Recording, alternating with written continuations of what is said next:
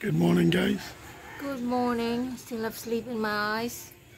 Well, it's unwashed, refreshed, There you smelling nice for work. are. So, um, we've had people asking how easy or how difficult it is to open our sliding gate, and can I do it myself? So, Jennifer's going to video, and I'm going to show you. So, here we go. Morning, Ronald.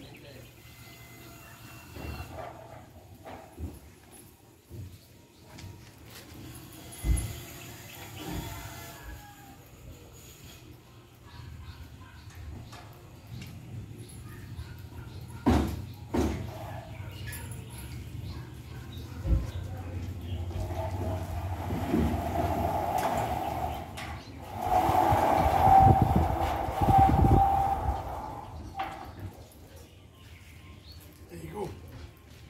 Very easy. Um, we did have four wheels on it, but we took one wheel off to make it a lot easier to open because the, th the fourth wheel was actually buckling. But now we've only got three wheels. It's working perfectly. So, catch you later, guys.